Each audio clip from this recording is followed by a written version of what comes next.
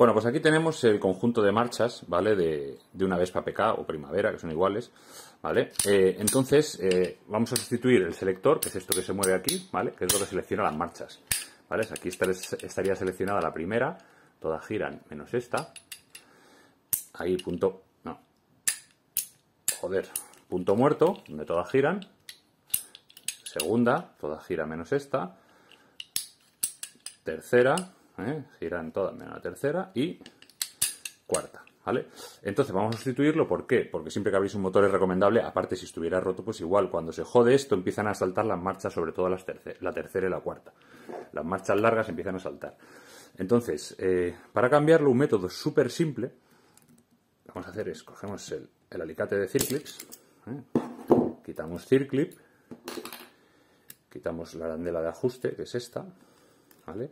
Luego, mucho cuidado al sacar las marchas, porque llevan una cara por la que hay que montar, ¿vale? Así, si la montas así, estaría así, pero si la montaras al revés, mira la separación que queda ahí, y no ajustaría bien. Con lo cual, acordaros muy bien de la posición que llevan cuando la saquéis.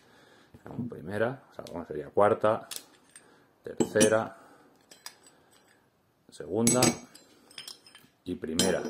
¿Vale? Y luego tenéis que tenéis otra arandela de ajuste que está después de la cruceta. ¿eh? La cruceta es esto. Y otro circlip aquí. Entonces sacamos también el trasero. ¿Vale? Sacamos el trasero. La otra arandela de ajuste. Acordaros cuál es la trasera, cuál es la delantera. ¿Vale? Y ahora tenéis la cruceta. Esto, si lo sacaréis atrás del todo, esto lleva una bola en cada lado, dentro y un muelle que aprieta las bolas hacia afuera. Con lo cual, eso es lo que en estos rebajes que tiene, donde acopla la bola. Si tú tiras para atrás, hacen pum, saltan las bolas disparadas y las pierdes. Entonces, lo más fácil es, a ver, tú esto lo podrías hacer para sacarlo, pones aquí una bolsa de plástico, tiras para atrás, saldrían las bolas y el muelle se quedarían en la bolsa y luego para montarlo, pues con mucho cuidadito, eh, ponerlo, ponerlo aquí de tal manera que pudieras meter una bola, luego el muelle, luego la otra bola, sujetarla con un destornillador y meterlo ahí. Es complicado. Entonces, lo mejor es con una cruceta antigua, yo tengo aquí crucetas antiguas, ¿vale? ¿Qué es esto? Colocas una cruceta antigua por el otro lado y la empujas. Entonces haría así. ¡Pam! Sacaríamos la vieja. Aquí estaría la antigua. Ahora cogeríamos la nueva. Estaros al loro porque hay dos tipos de crucetas para PK y hay una diferencia. Unas son para modelos primavera, modelos antes del 83 o así, y otra para modelos posteriores al, al 83. La diferencia es de un milímetro. O sea, una es, la otra es un milímetro más larga. O sea, es inapreciable a la vista, a menos que lo midáis con un calibre. Y ya me ha pasado alguna vez que me he equivocado, he pedido la que no es y luego las marchas no te ajustan. ¿Y cómo ves que no te ajustan? Pues mira, vamos a poner la nueva. Bueno, eh, tenéis que ver aquí los dientes. ¿Veis los dientes de una? Y, los dientes de la otra. ¿Veis esto que está redondeado aquí, que aquí está cuadrado? Pues esto hace que las marchas se reparen, sobre todo las largas. ¿Vale? Eh, se nota bastante diferencia de unos dientes a otros. Cruceta nueva. Entonces con esta lo que vamos a hacer es, la metemos por aquí, al igual que hemos hecho con la otra, la colocamos en su sitio y una vez está en su sitio, empujamos. ¿Eh? Y ya tendríamos la cruceta nueva montada. Si no, ya os digo, también lo podríais hacer de la otra manera, que es con mucha paciencia, ¿eh? soltando, poniendo una bolsa de plástico, tirando para atrás, que salga todo y luego remontarlo, pero es un coñazo. Lo mejor es si tenéis una antigua, eh, con una antigua, ya veis, se hace en un momento. Ahora lo que se haría es, se mete otra vez la arandela de ajuste, ¿vale? Se mete la arandela de ajuste otra vez. Ponemos el circlip. La verdad es que están marcados ya de, la posición que llevaban, ¿vale? Ponemos el circlip y ahora os voy a explicar cómo montar las marchas y comprobar que están bien puestas, ¿vale? Que eso ajusta bien para que no pase, porque ya te digo, yo la última vez que pedí una equivocada, monté las marchas y menos mal que se me ocurrió hacer lo que voy a enseñar ahora, porque si no, o sea, lo montas y una vez lo tienes todo montado, pues te toca abrir otra vez el, melón, ¿sabes? Y es un coñazo. Entonces, bueno, pues no entra bien. Ponemos esto ahí, ahí está. Vale, ya tendríamos puesto el circlip con la primera arandela. Entonces, ahora vamos a montar las marchas en el mismo sentido que las hemos quitado. Pondríamos la cuarta. Bueno, vamos a echar para atrás la cruceta del todo, ¿vale? Ponemos la cuarta. Y comprobamos eh, que se nos queda a ras. ¿Veis que está a ras de la cruceta? ¿Vale? Está a ras, de puta madre. Perfecto. Ponemos punto muerto, que es el siguiente punto después de primera. Eso sería primera, perdón. ¿Ves? Nos roza. ¿Vale? Metemos segunda marcha. Y primero comprobamos que no roza la segunda. A mí con la otra cruceta, con la que me equivoqué y pillé la de los modelos primavera, aquí ya me rozaba el punto muerto. ¿Ves? Este punto muerto no roza. Metemos segunda. ¿Ves? Y se queda también a ras. ¿Veis que se queda ahí a ras, a la misma altura? ¿Vale? Ahora, montamos tercera, empujamos, ponemos tercera y se queda también a ras. Perfecto. Y por último, damos la cuarta, ¿vale? Le damos, esta ya no se queda ras, pero esta no hay problema, ¿vale? Esa se queda, veis que se queda aquí un poco más levantado, la cuarta da igual.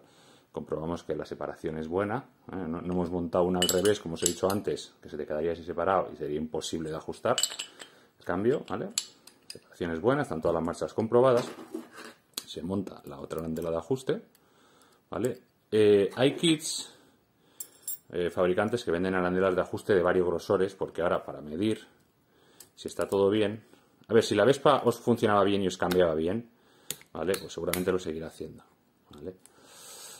A mí me gusta montar, si esta la he montado aquí, este círculo lo he montado en este lado, este lo voy a montar hacia otro lado, ¿vale? por ejemplo, ahí, me lo monto a 45 grados. Entonces, comprobamos, está, estaría metida la cuarta, las demás giran libres, tercera, las demás giran libres, joder, segunda, las demás libres, ahora punto muerto, todas giran y primera, que sería esta, y las demás giran libres. Y ahora lo suyo es con unos, unas galgas, ¿vale? Hay que comprobar, se mete la galga entre la arandela de ajuste y lo que es la última marcha, la cuarta, se metería por aquí, ¿vale? O sea, perdón, entre la arandela de ajuste y el circlip, y tiene que entrar, yo calculo siempre una galga de 0,20, ¿vale? 0,20 o 0,02, como lo queráis llamar, ¿vale? Eso es un valor medio, es, no puede entrar ni menos de 0,10 ni más de 0,35, 0,035, ¿sabes? 0,20 sería eh, eh, una veinteava parte de un milímetro, ¿vale? O sea, nada. Pero bueno, si ya os funcionaba bien, eh, os seguirá funcionando bien. ¿eh? Está todo bien montado, habéis comprobado que la cruceta es la correcta, que todas las marchas entran bien y sobre todo el punto muerto no toca, ¿vale? El punto muerto está bien y así sería la manera correcta de montar una cruceta.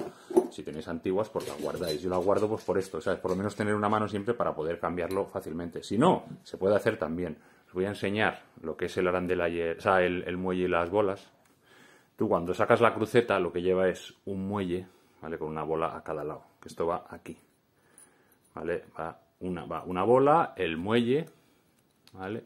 Y otra bola. Entonces cuando, cuando lo sacas saldría esto, pum, disparado porque estaba la presión. Entonces tendrías que volverlo a montar todo, tal que así, ¿vale? Tener una bola, el muelle, otra bola y luego sujetarlo, meter un poquito la, patita de abajo y sujetarlo de arriba con un destornillador y meterlo otra vez. Pero cuando te equivocas, se te resbala el destornillador, sale todo volando y es un coñazo. Entonces lo mejor es esto. Y eh, lo que os he dicho ahora ya, para rematar, os cogéis unas galgas, tenéis tenéis que tener un par, ¿sabes? Tenéis que tener un par. En este caso, os cogeríais lo que os decía, 0,40 sería demasiado ya. Sería 0,10, 0,10 0.15, 0.20 suelo utilizar yo. 0.5, 20. ¿Ves? 20. Esta se llama 20 y aquí lo llaman 0.20. ¿Vale? Mirar porque a veces se cuela alguna de más. Aquí a lo mejor parece que solo está la de 20, pero a lo mejor hay dos. No, solo está la de 20. ¿Vale? Entonces, esto lo que se hace es que entre una tal que ahí. Ahí está. Así sí, es que lo tenía apoyado. ¿Vale? ahí entran 0,20 y 0,20, ¿vale? Si nos fuéramos, por ejemplo, vamos a buscar la de 0,40 ya no tiene que entrar, por ejemplo. vamos a probar 0,30. Probamos 0,30. Es que esto, esto es lo suyo para que el cambio vaya fino. ¿Vale? Saludo. 0. Esta está muy completita, tío. Esta viene aquí a tope. 0,30. Ahí está esto ya, que entre 0.30 está bien, pero ya 0.40 no, ¿vale? Entonces esto, meteríamos aquí 0.30, joder si soy capaz. Este 0.30 ya le cuesta, aquí 0.30 todavía entra, ¿vale? Nos vamos a 0.40. Esto lo puse yo, ¿eh? Habrá gente que utilice otros valores. A mí me va muy bien así. 0.40 esto ya es heavy metal, nene. 0.40 ya no entra ni una. Con lo cual esto estaría...